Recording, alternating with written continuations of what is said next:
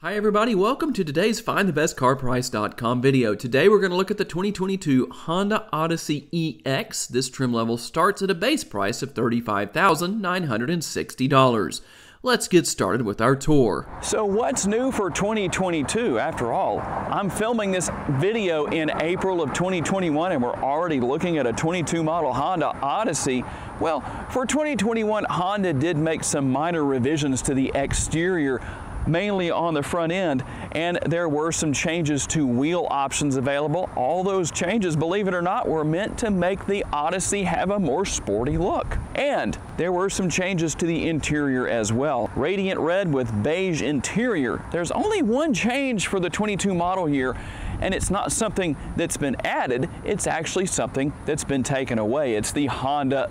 So I'm curious to know, how many of you have an opinion about that change. Do you like it? Do you not? Does it make no difference? Well, I'm curious to know down in the comments. Of course, you're still going to find plenty of safety features and a lot of great modern technology. We'll look at some of those things as we go through our tour here. LED headlights, LED daytime running lights, and LED fog lights, also LED tail lights. So basically LED all the way around. And since I'm always asked about this, do the side view mirrors have built-in turn signal indicators? Yes, they do. And trim levels. I will list all of those on the screen for the 22 model year and their base prices in case you want to know. I'll also list those down in the description of the video in case you didn't pause the video in time to see the graphic on the screen. You can still go down and take a look in the description of the video. This is a front wheel drive minivan by the way. And one of the shining areas among many with the Odyssey is what's found right here under the hood.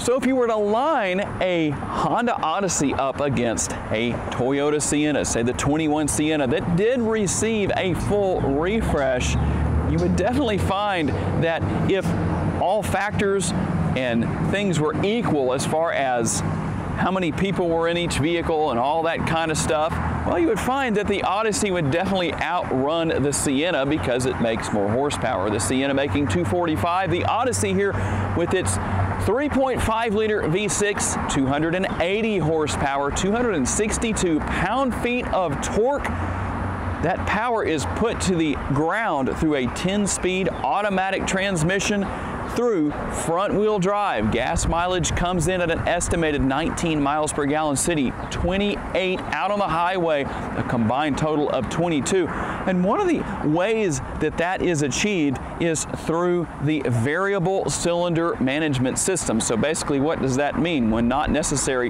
not all of the cylinders are firing, that means less fuel is used. And this little minivan will actually spin the front tires just a little bit if you take off from a dead stop. I've done that in previous videos. Now, you also have to consider something here that is definitely a plus. The Odyssey has a smooth and stable ride. That makes a big difference. And like I said, all sorts of great technology and the interior has some very solid features that we'll take a look at right now. If you haven't watched any of my videos before, I'm going to introduce you to a new term. Well, at least I assume it is, but the multitasker. And there are a couple of multitaskers throughout the interior of this Odyssey. One of which being the area down here where you would drop the stowing magic rear seats. All you're going to do is pull on this strap right here and it's just this simple. Very easy to do. And there are written instructions right here on the back of the seats to tell you what to do with that. And of course, as you can see, that's very easy to put back in place right there and the seats do recline as well. Now, what is the first multitasker? Well, it's the little area where these stowing magic rear seats fold into. If you're not using that area, or maybe you're just using one side with these seats back here, one side's down, one side's up, or both of them are up, you could actually store, well, whatever you can get to fit or whatever you need in that area down there. Maybe you have something you picked up at a hardware store or something like that that's, that's pretty tall and it won't fit inside the interior without maybe laying it down and maybe it's a plant or something like that as an example and you don't want to lay that down in the interior, well, you could probably put the pot down in this area and the plant could still have enough space to ride back here in the rear area. Multitasker for sure, groceries, whatever you want to put back there, whatever will fit, plenty of opportunity. Now, what about space in this third row of seats? Keep in mind, the middle row can be moved forward. They slide back and forth and forward and backwards, so you actually can move those up to increase leg space here for the rear passengers if so desired. And there are a couple of ways to get out of the back seat once you get in. And I'll show you how to get in once we hop up to the front area or the middle area here and open those sliding side doors. But let's just say the middle row passengers forget somebody's back here in the rear. Well, they could reach around to the side and pull the lever that ultimately moves the seat forward, but there's also a strap on the rear that you can pull as well.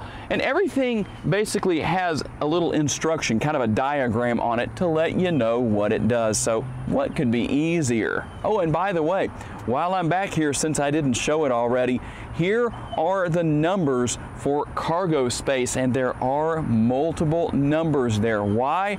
Because not only can you fold these rear seats down, those middle row seats, are configurable in a number of ways. You can slide them back and forth. You can remove that middle seat that has the cup holders built into it and slide the outer seats in either, either direction, whatever you want to do. Or if you want to muscle these seats out, they are removable individually. So actually three different seats there in the middle row that all come out individually this van is ultimately a multitasker. Why do I say that? Not only because of the area down here where the stowing magic rear seats go, but also because you could remove those middle row seats and use this as a work van if you wanted to and put the seats back in for the weekend if the family wants to go somewhere. There are so many different options available here that you won't find with all of the competitors of the Odyssey. All right, guys, like I said, it's easy to move these seats forward and allow access to and from that third row. And all you have to do, this very rear lever right here, all I did was push up on that. And I mean, just look at how easy that is. That is a very easy thing to do. It slides forward, but you also have the ability to recline these seats. I don't know how well you can see that on the screen, but those do recline quite well.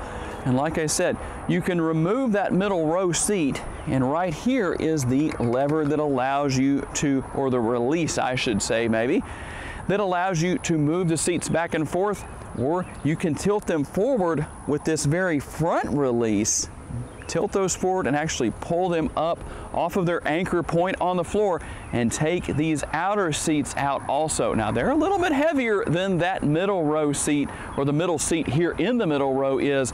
Just a word of warning there. You might need to get some help and then again, you might not. It might, they might pull those out and tell me, Tom, those things are super light because you're a whole lot stronger than I am. Whatever the case may be. Quite a bit of storage, of course. You've got multiple cup holders, not only here in the rear seats, but also here for the middle row seats. Everybody literally has their own air conditioning vent, grab handles here to make getting in and out easier, even though not really necessary, but it's nice that the grab handles are there just in case. But obviously the Odyssey isn't sitting up very high off the ground. Okay guys, let's talk about what you will find here in the front seat. These driver and passenger seats are heated. And if you live in Northwest Louisiana, I know this time of year that does not mean anything to you most likely. Maybe really early in the morning for just a short period of time. Today is April 24th, by the way, of 2021. Still a little cool in the mornings, but definitely not something you're going to need later in the day. So only heated, don't have ventilated seats here. That would be a nice feature to see but you do have all the typical features and functionality here and a lot of features you can turn on and off as far as safety features go. You can go in to the infotainment screen and do that. Now, the one thing that maybe we'll see in the future with some of these Hondas, and I haven't seen this even on the higher trim levels, I don't believe, where you can go in and change the sensitivity of, say, the lane keep assist or whatever the case may be. It's either on or it's off, but it's nice to know that the option is there. And of course, Comfortable steering wheel here. You got your steering wheel mounted controls, everything you would expect to see. And if you do want to have that sporty experience, you have multiple driving modes. You have snow, econ, you have driving, you have sport. Driving sport, you can use those shifter paddles if you want to. You could just go cruising down the road, changing gears, gearing up, gearing down, and kind of feeling sporty in your Odyssey. And one of those multitaskers I talked about earlier here over on the left hand side of the steering wheel, I realize that not every vehicle is equipped with this lever, at least not with this kind of functionality. At least I don't think it is based on the way some people drive. But you have the multitasker here on the left hand side that controls the lights, the headlights, the fog lights, whether everything's set to automatic, whatever it may be. And if you push this lever up, hear that clicking sound? You look on the dashboard, you'll see a green arrow pulsing, pointing to the right. And if you push this lever down, See the same thing on the left-hand side of the dashboard. What exactly is that for those of you who maybe don't have that option on your vehicles? That's called the turn signal lever. Like I said, it's a multitasker. So when you're turning to the right, you push it up or changing lanes to the right. And the same thing when you're turning to the left or changing lanes to the left, just in case you didn't know, because I know there's a lot of drivers out there who don't. And over here on the right hand side, I can't really get a, give a sarcastic review of exactly what's here on the right hand side. That's where you're going to control everything to do with the windshield wipers. Front windshield, or the windshield wipers here in the front, You've got the rear window wiper in the rear. Almost called that a windshield. That's not a windshield back there.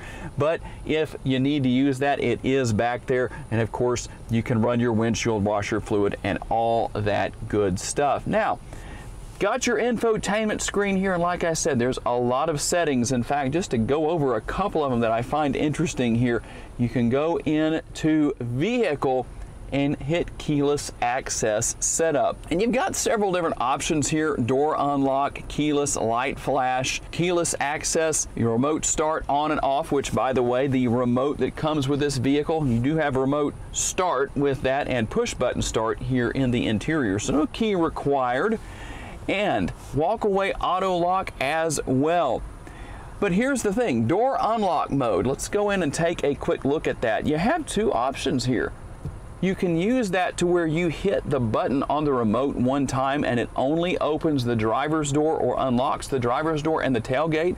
Or if you want to only hit that button one time, it's just a personal preference, you can set it to all doors. When you hit that button once, all the doors unlock. It's something you might want to use depending on your personal preference. Everybody has their differences in that respect.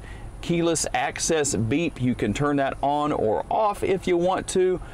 Quite a few features here depending on what you want. Walk away lock. So when you walk away, the keyless lock, as you walk away from the vehicle, it automatically locks. If you want to turn that off, you can turn it off or you can enable it depending on what you want to do. The infotainment screen here in these Hondas are very easy to use, very easy to learn.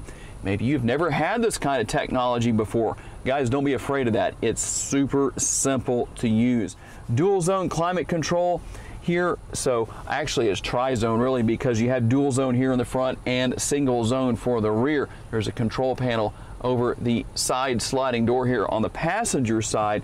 And you can sync these two together in the front if you want to for both sides so that the driver and passenger, if you change the temperature on the driver's side, it changes to the same thing on the passenger side, or you can unsync those if you wish to. And like I said, here are the controls for heated seats. And one of my absolute favorite things to always turn off that auto stop start feature. And why would I want to turn that off? Some people might say, well, you're saving gas. You're, you're maybe saving a few drops, but let me tell you what you're not saving with that technology. That feature will wear your starter out a whole lot faster than you would experience otherwise. And like I said, multiple driving modes there, and ultimately a push button shifter here. Tell me what your personal preference is. Do you like that push button shifter? Would you rather have a column shifter or maybe one here with the center console? And speaking of the center console area, a lot of storage right here. You've got your connectivity here with a 12 volt and USB. And I always think of a garage door here. You've got more connectivity inside when you open that, but the garage door with the lid for the console there, I find that to just kind of remind me of such. Okay guys, there's a couple of things that I want to make sure I don't forget to mention. Number one, the steering wheel manually adjustable, tilt and telescopically, so obviously it's fully adjustable. And of course, you're going to have a backup camera with multiple views that make a lot of different situations much easier to deal with. I know for those of us who have been around long enough, we sure remember the days when there was no such thing as a backup camera that came standard on a vehicle. And for those who don't know, in case somebody has a question about that, is there a certain trim level you have to buy of the Odyssey to get a backup camera? No, there isn't. It was actually a federal mandate in the United States of America that every vehicle by the year 2020 was required to have a backup camera. So obviously the automakers were way ahead on that, but it is what it is. So I intentionally wanted to drive this particular road because I wanted to give you a good idea of road noise. This road is very rough, very uneven. I'll just let you listen. You do hear some road noise, but it's not that bad. And I know you really have to experience it for yourself to really get that.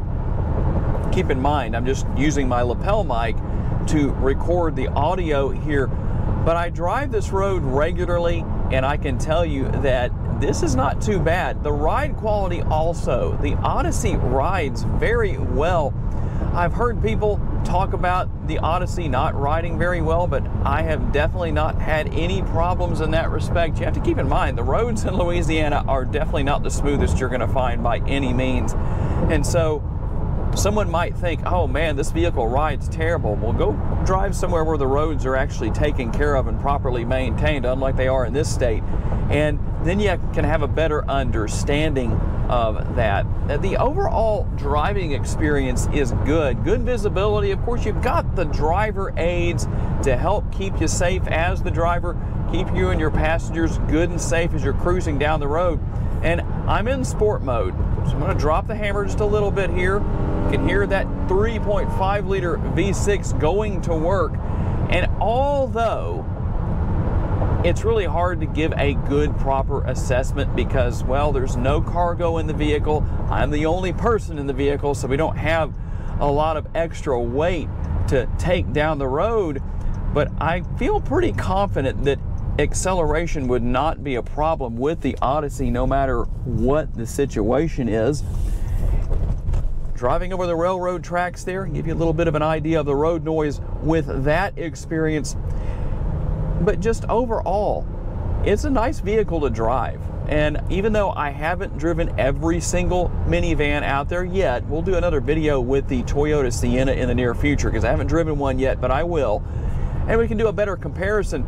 But just based on my experience in doing car reviews and just driving in general, I must say, I'm impressed with what the Honda Odyssey offers in every form and fashion. Definitely high marks, not only with the driving experience, the ride quality is good, good technology that's not difficult to learn, and just an overall high mark situation in every form or fashion, of course. Obviously, this is not the highest trim level you can purchase, but like I said earlier in the video, I get a lot of requests to review lower trim level vehicles. To learn more about the model in today's video, visit the link in the description for a detailed comparison between trims and pricing for the vehicle we featured or any vehicle you may be interested in.